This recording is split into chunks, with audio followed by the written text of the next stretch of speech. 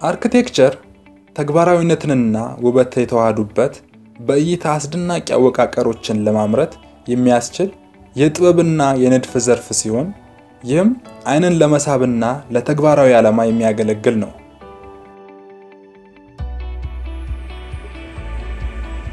ሰላም ሰላም ውድ ሚዲያ ተከታታዮች፣ ከዚህ ቀደም ካቀረብንላችሁ ስራዎች ውስጥ በዓለም አቀፍ ግንባር ቀደም የነበሩትን አርክቴክቶችን ነበር። ለአብነት ያህል ዘሃዲድ እና አድሪያን ስሚዝ።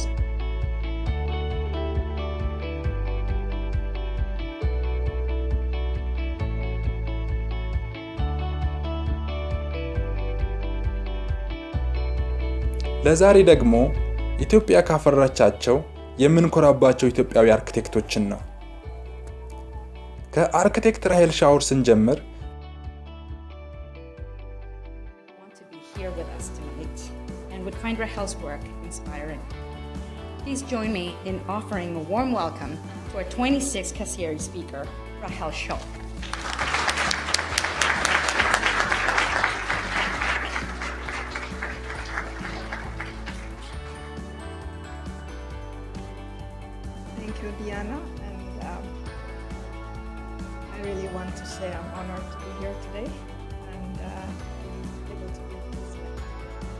ከ1991 ዓ.ም ጀምሮ እስከ 2017 ዓ.ም ሽልማት ያገኘችባቸውን ስራዎቿን እንቃኛለን።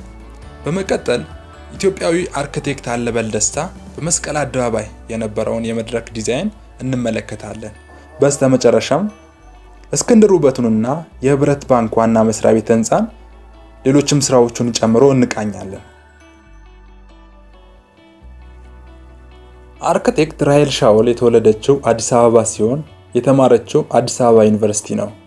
እንደ አውሮፓውያን አቆጣጠር 1991 ዓ.ም አባ አርክቴክትን መሰረተች።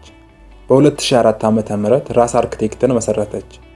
በአዲስ አበባ ላለፉት 27 ዓመታት እሷና አጋሮቿ በሀገር ውስጥና በዓለም አቀፍ ትብብር በርካታ ፕሮጀክቶችን ሰርተዋል።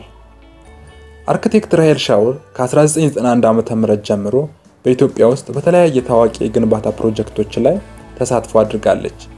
ከሰራቻቸው መሃል ኤምባሲዎችን፣ ትምህርት ቤቶችን፣ የጤና እንክብካቤ ማዕከሎችን፣ ቢሮዎችን፣ የንግድ የኢንዱስትሪና የመኖሪያ ቤቶችን ጨምሮ ለተለያየ አገልግሎት የሚውሉ ቤቶችን ንድፍ ሰርታለች።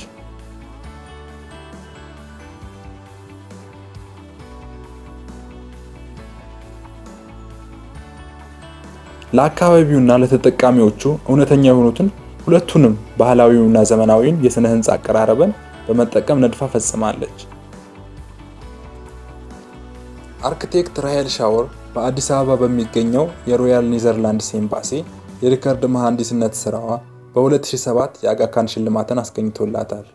በ2017 ምርጥ የኤኢኤ አርክቴክቸር በአዲስ አበባ በሚገኘው ደቡብ አፍሪካ ኤምባሲ ላይ ላደረገችው ትብብር ሽልማትን አግኝታለች። እናም በ2017 በህንፃ ምህንድስናና በማህበራዊ መስኮች ተሳትፎ የአቢሲኒያ ሽልማትን ወስዳለች። በድጋሚ በ2017 ዓመተ ምህረት ከሰሃራ በታች ካሉ የአፍሪካ ሀገራት የመጀመሪያዋ ሴት አርክቴክት በመሆን በሃርቨርድ ዩኒቨርሲቲ የተመረቀችበትን የዲዛይን ትምህርት ቤት የ Loeb Fellowship ከኢትዮጵያ አርክቴክቶች ማህበር ጋር የሰጡትን ስራዎች የተለያየ ምስጋናና ሽልማትን አግኝታለች። የእርሷ ድርጅት የቤት የቦታ እና የማንነት ገጽታዎች ላይ ተሰማርቷል። እንዲሁም ስለ አርክቴክቸር እውቀቷን ለማካፈል ከወጣቶች ጋር እየሰራች ትገኛለች። በተለይ ሴቶች በተግባር ላይ የተመሰረተ ትምህርት በስነ ህንፃ ውስጥ ያላቸው እውቀት ከፍ እንዲያደርጉ ታበረታታለች። በ2020 ዓመተ ምህረት በዶመስ መጽሔት ከ50 ምርጥ የህንፃ ተቋማት መካከል አንዱ የሆነው የራስ አርክቴክት ምርጫን ጨምሮ በዩናይትድ ኪንግደም በሚገኘው የሮያል አርት ተቋም የዶርፍማን ሽልማትን የመጨረሻ እጩ አንዱ ነበረ።.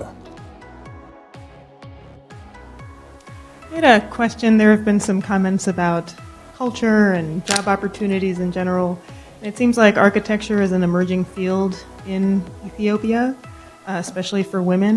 Um, is there any interest in cultural heritage conservation? Uh, you know, Ethiopia is also a country with a rich past, and is there any interest in that as well? I was wondering if you could speak to that. Um, there's a lot of interest. Actually, one of my favorite instructors from school, he is uh, largely working on, on heritage uh, preservation and protection. There's in our school at EIABC in Addis, there is, I think, under him, he, um, you can find uh, how he, he's amazing at his work, and there are many now working in, in, in all this con- conservation of our heritages. And um, recently, so many uh, international competitions are coming out for these heritage projects, and many um, collaborations are happening to really, especially the churches, the Lalibela churches. They are in the news recently also, how to uh, keep them, and uh, yeah, there's a lot of interest towards that.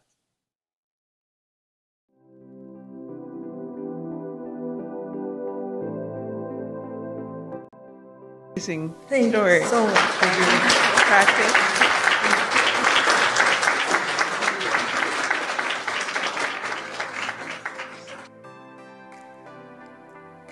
በመቀጠል ኢትዮጵያ ውስጥ ካሉ ተጽዕኖ ፈጣሪ አርክቴክቶች መሃል አንዱ አርክቴክት አለበል ደስታ ነው።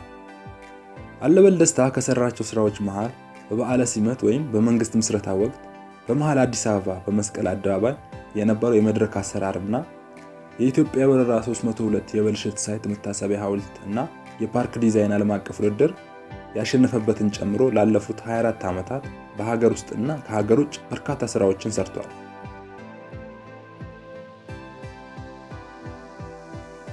ከፓርክ ዲዛይኑና ከመታሰቢያ ሐውልቱ ስንጀምር የኢትዮጵያ በረራ 302 የብልሽት site መታሰቢያ ሐውልትና የፓርክ ዲዛይን ላይ ዓለም አቀፍ ውድድር ተካሂዶ የአለበል ደስታ ድርጅት አሸናፊ ሆኖ ተመርቷል።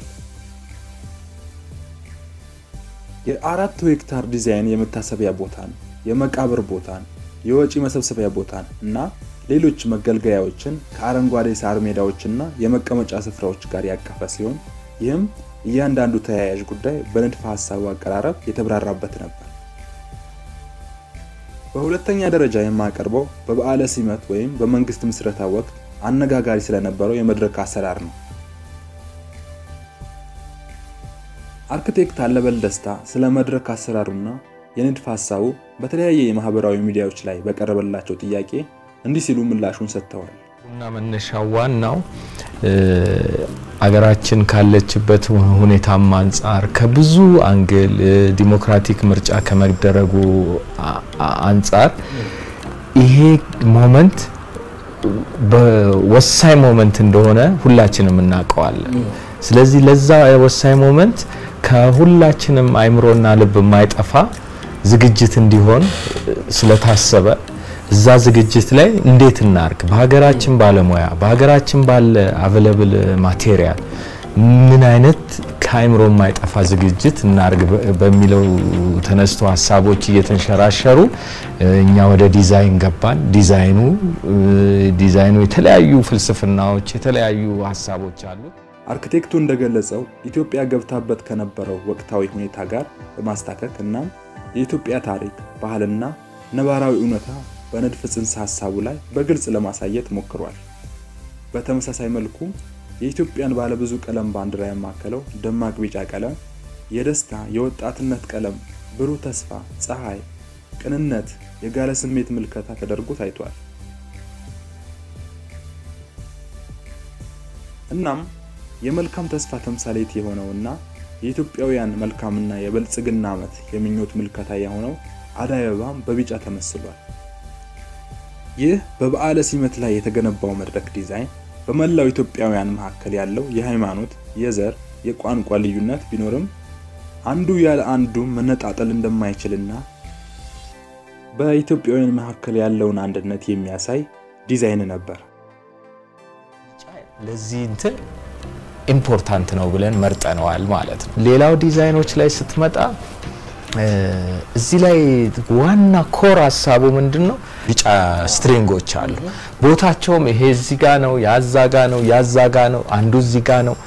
ሁሉም የተለያየ የእኛን diversity ያመላክታል። በቋንቋ፣ በሃይማኖት፣ በዘር፣ በጾታ በብዙ diversified በቃ በጣም diversified ያንን ያመለክታል። ግን ያ diversity ያችን unified ሆነን ልክ የሀገሬ ሰው እንደሚለው ድር ቢያብር አንበሳ ያስር እንደሚለው ሁላችንም ተጋግዘን ነው ይሄን setup የሰራ ነው።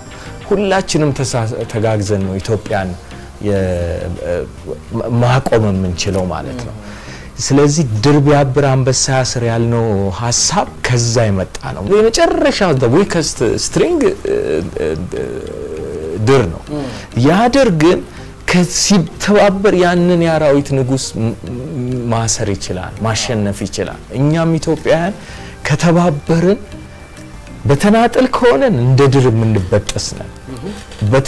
ከተባበረንም ደግሞ እንደ ድር ብርቱዎች ነን። እኛ ኒኩሌር የለን ምን የለን ምን የለን። እኛ ሂስትሪና ህብረት ነው ያለን። ያ ህብረታችን ነው ሌላ level ላይ የሚወስደና እሱን ለዓለምም ለማስተላለፍ ነው።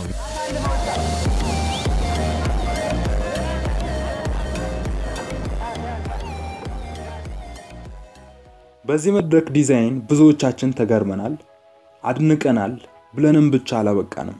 እንዲህ አይነት ብሩህ አእምሮ ያላቸው ሰዎች ያብዛልን ብለን ወደ ሌላኛው ኢትዮጵያዊ አርክቴክት እስክንድር ውበቱና ስራዎቹ እናልፋለን።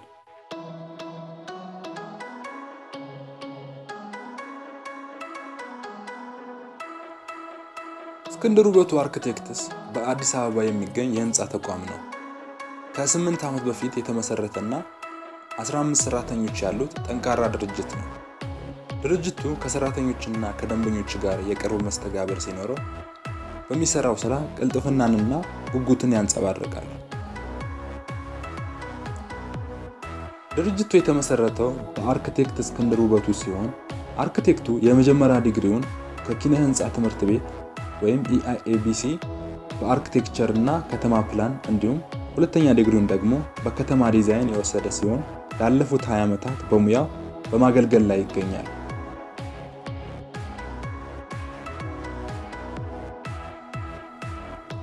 ይህ በግንባታና በመሰረተ ልማት ላይ የማማከር አገልግሎት የሚሰጠው ድርጅት የኢትዮጵያ አርክቴክቶች ማህበር AEA፣ የአፍሪካ አርክቴክቶች ህብረት AUA እና የዓለም አቀፍ አርክቴክቶች ህብረት UIA አባል ነው።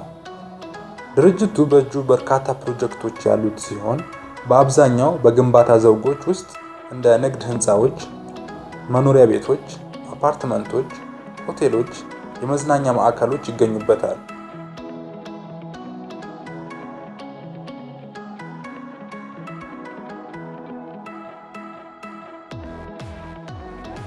ዋና ዋናዎቹ ፕሮጀክቶች የተባበሩት ወይም የህብረት ባንክ ዋና መስሪያ ቤት ህንፃ፣ መርካቶ አካባቢ የገበያ ማዕከል፣ ሲኤምሲ አካባቢ ባለ ሰባት ፎቅ የቅንጦት ሆቴል እና ባለ አራት ኮከብ የቅንጦት ሆቴል እናም ሌሎች ስራዎች ይገኙበታል።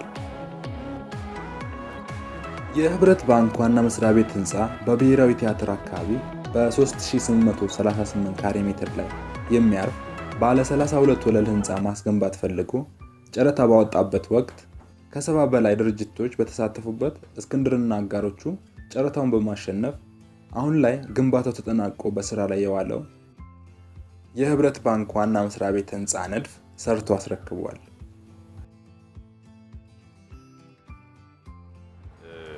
የዲዛይን team ኡን ያው አስተባብራለሁ፣ እመራለሁ። architectural design ኡን በእኛ ቢሮ እስክንድር Architects ይባላል። እዛ ውስጥ እንሰራለን ማለት ነው። ግን ከኛ ጋር በ structural ዚያስ የሚባል company፣ በ foundation ጂቲ፣ በ mechanical እና plumbing ሳንሜክ፣ በ electrical ቡኩ፣ ሌሎችም ደግሞ በየዲስፕሊኑ ያሉ ኢትዮጵያኖች ነን የሰራ ነው። ባንኩም በኢትዮጵያኖች ላይ ተማምነው በእድሜያቸውም ትላልቅ የሆኑ አሉበት የ architect ም team የመሀንዲሶችም team ተሰብስቦ እንዲሰራ ማድረጉ